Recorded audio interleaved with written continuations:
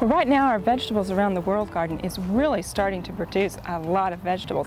And one of them that we're harvesting fairly often right now are our yard-long beans. Now these are also known as asparagus beans and they're used a lot in Asian cooking. Now these are different than the fava beans that we harvested earlier. If you'll remember I told you the fava beans are much like peas and they like a long cool season. Well our asparagus beans like a very hot season and so they kind of sat there and now that it's hot they've taken off and we're getting a lot of bean production.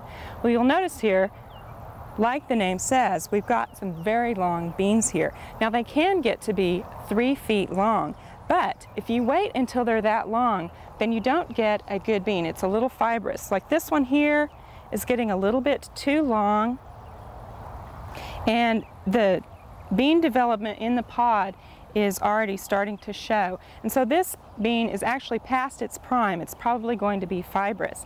But over here, we've got some beans that are actually just right.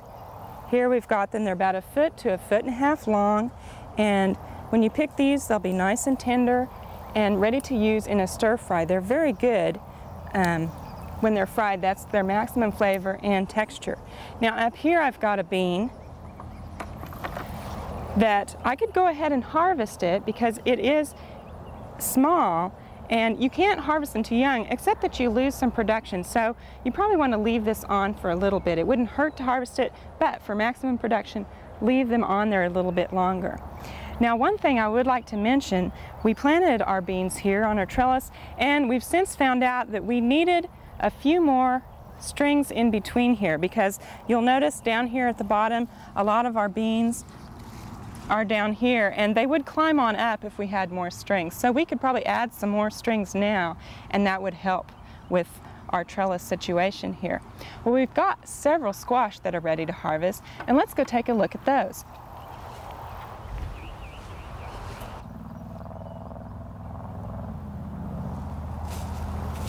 One of the fun plants that we have this year is our Zucchetti rampicante or Italian trombone squash. Now this is an Italian heirloom variety of squash and actually it is squash vine borer resistant so we shouldn't have a problem with squash vine borers on this plant. But the really neat thing about this squash is the actual squash and if we look down here We've got several in different stages. And first off, we've got a very young squash. Right here, it's just now forming. And you'll notice how it has a very rounded base and then this long neck on it. Now here we've got one that is a little bit more mature, but still not quite ready to harvest. But this squash right here, is perfect for harvest. Now these are very similar to zucchini, but you'll notice they have this nice kind of a lime green color and they have a very nice consistency when cooked. They don't tend to get watery like a zucchini does and they have a nice flavor that is somewhat uh, similar to an artichoke. Now, I'll just harvest this and actually the best time to harvest these is when they're about a foot and a half long. Um, but this has really been a fun squash for us. It's just kind of a conversation piece and it's also very good to eat. Now in addition to the vegetables that we've been harvesting, we've got some shallots that are not quite ready to harvest yet, but will be soon. So let's take a look at those.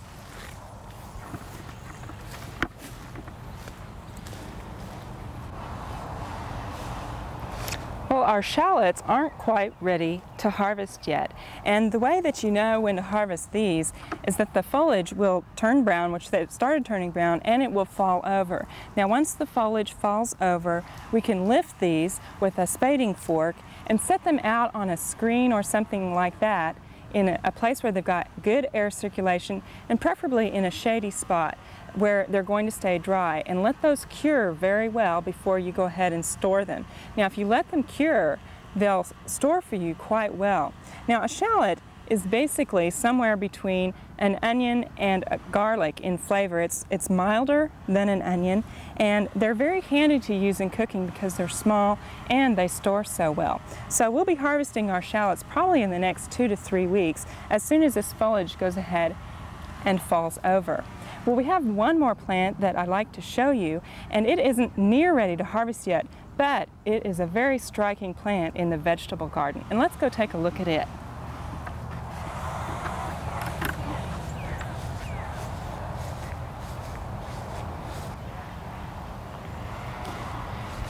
Well, the last vegetable that I wanted to show you has been getting a lot of comments from visitors to our studio gardens.